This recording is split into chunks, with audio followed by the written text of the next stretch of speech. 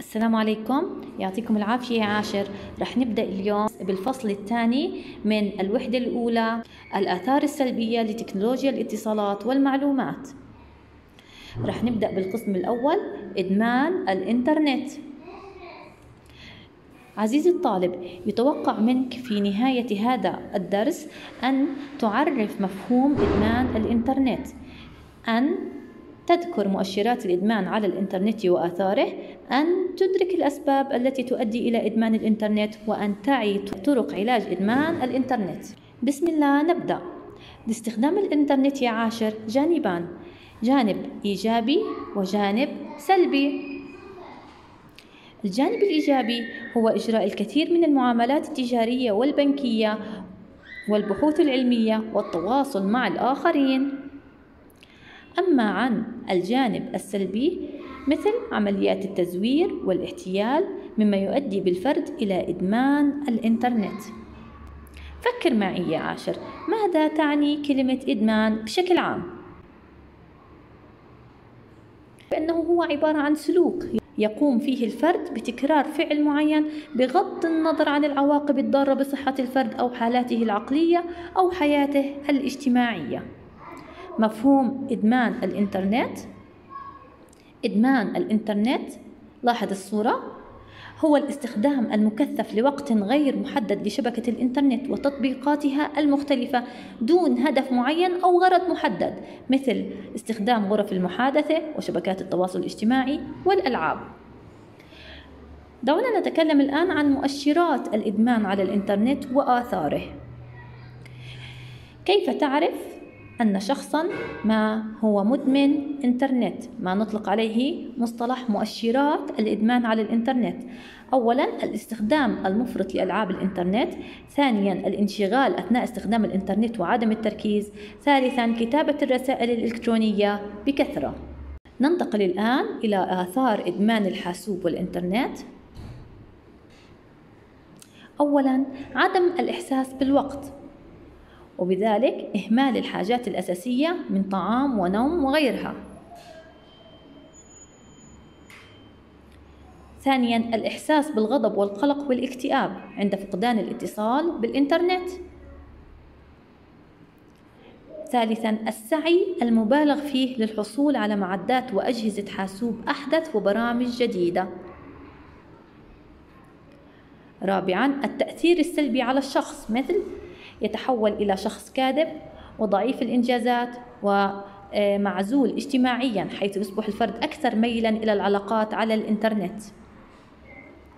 أما النقطة الخامسة والأخيرة هي الإحساس الدائم بالتعب والإرهاق.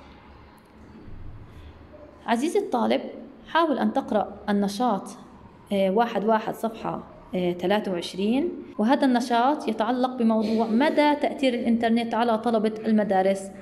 آه، يا حبذا يا عاشر أنكم تحاولوا أنكم تدرسوا هذا الموضوع عشان نتناقش فيه بحصة الزوم بكرة. دعونا ننتقل الآن إلى الأسباب التي تؤدي إلى إدمان الإنترنت. اتفقت الدراسات العلمية على أن الأفراد ذوي المشكلات النفسية والاجتماعية هم الفئة الأكثر تفضيلا لاستخدام التفاعل عبر الإنترنت.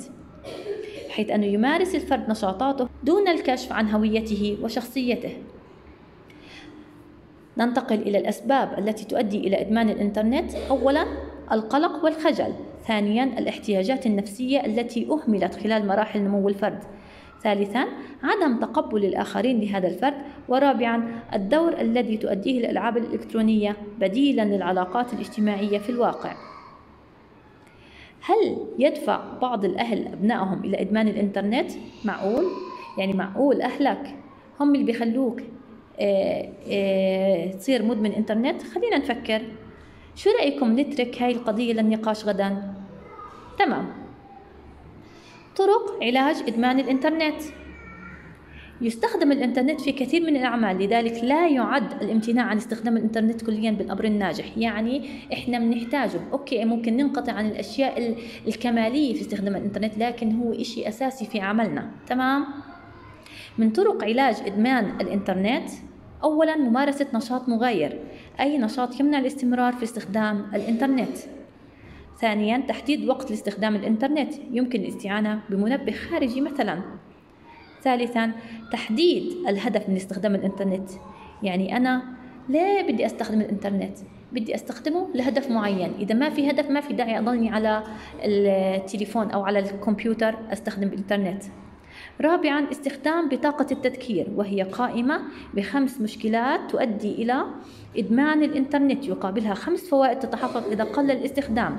توضع في مكان بارز أمام المستخدم مثلا أمام مكتبك وبذلك أنت بتصير كل ما تطلع عليها تتذكر أنا شو بدي من الإنترنت. تمام؟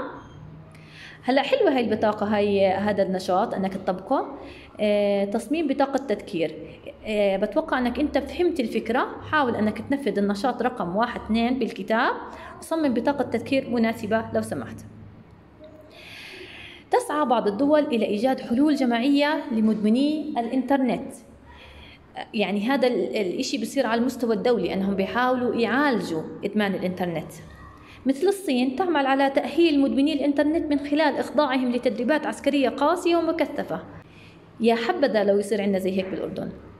أما الولايات المتحدة الأمريكية يبعد مدمنو الإنترنت عن التكنولوجيا بقضاء أسبوع مع الأسرة في الصحراء. كثير من السياح بيجوا على الأردن على وادي رم تعلمكم. بياخذوا من أولادهم ال tabs وبينقطعوا عن التواصل عن الدنيا كلها. الصحراء أصلا ما فيها network ما فيها آه واي فاي ما فيها GSM. فهم بينفصلوا بيقعدوا أسبوع مثلا في وادي رم بينقطعوا فيها عن الدنيا بيصفوا فيها ذهنهم.